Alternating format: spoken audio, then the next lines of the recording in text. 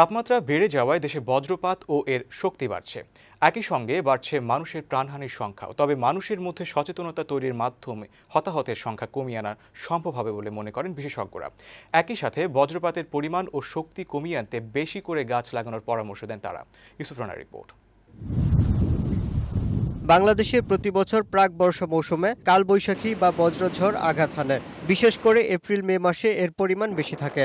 বিশেষজ্ঞদের মতে, গ্রীষ্মকালে দিনের তাপমাত্রা বৃদ্ধির ফলে বাতাস গরম হয়ে উপরে ওঠে। পরে জলীয় বাষ্পের সাথে মিশে এই গরম বাতাস যখন দ্রুত ঠান্ডা হয়, তখনই বজ্রমেঘের সৃষ্টি হয়।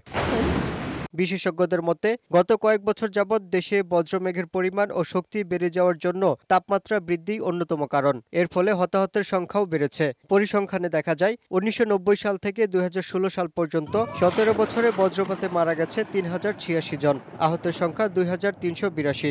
গত বছর পর্যন্ত যেই ধরন, যেরকম ছিল বজ্রপাতের আমরা যেটাকে বলি হচ্ছে যেটার শক্তিটা যে মাত্রায় ছিল, তার চেয়ে এবছর মনে হচ্ছে যে সংখ্যায়ও বেশি, বজ্রপাতের সংখ্যাও বেশি এবং শক্তিটাও অনেক বেশি। বজ্রপাত কমাতে সবুজায়নের উপর জোর দেন এই বিশেষজ্ঞ। তিনি বলেন, হতাহত কমাতে বজ্রপাতের সময় নিরাপদ স্থানে আশ্রয় নেয়া, পানিতে খোলা জায়গায় কিংবা বড় গাছের নিচে আশ্রয় না নেয়া এবং মোবাইল ফোন সহ সব ইলেকট্রিক ডিভাইস ব্যবহার বন্ধ রাখতে হবে। বজ্রপাতে আহত কোনো ব্যক্তিকে খালি হাতে স্পর্শ করা বিপজ্জনক বলে জানান তিনি।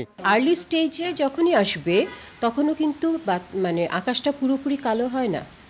তখনই আমাদেরকে বুঝে নিতে হবে যে বজ্রপাতের আশঙ্কা আছে, সুতরাং আমরা যার যার সেফ জায়গায় চলে যেতে হবে।